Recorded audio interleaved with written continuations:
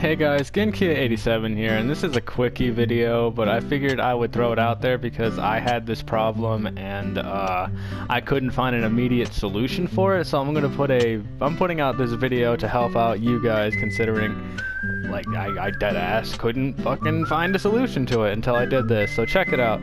Um, at one point, I basically could not record commentary on Share Factory for a couple of months. I had to do it directly on my computer through uh, my video editor that I sometimes use on my computer, which I probably won't use as much now because I can actually record commentary on this bitch now.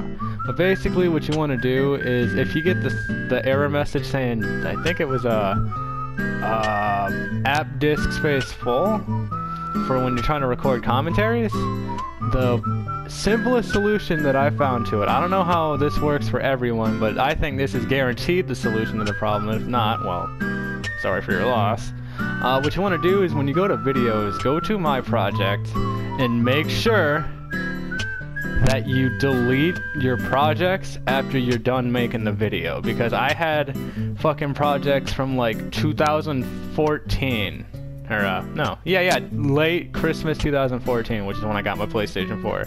And I had it from the very bottom all the way to the top. Now, that already causes problems with trying to save projects, but, you know, that's not so bad. But the reason why this fucks up the disk space is because it still saves all the commentary audio that you had on your previous videos, regardless if the clips are there anymore or not. It still has all your, uh, commentary audio in those projects. So basically, the solution to this problem is to make sure that you clear out your projects and keep it contained like this. Trust me, as I'm recording this video, this is the update video I just finished, like not even like a minute or two ago. But before I did that video, I couldn't record commentary and I had this shit filled to the brink. I ha easily had over a hundred projects that I have accumulated over a certain period of time. So yeah, um, simply hit options and delete project. This one can't be deleted because for whatever reason Sony thought that one of these slots should be dedicated to a sample video that's kind of trash, but you know we don't talk about that.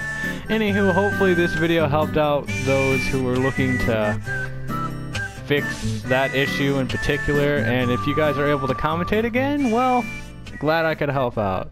So yeah, um, Genkia87 here, and I am out.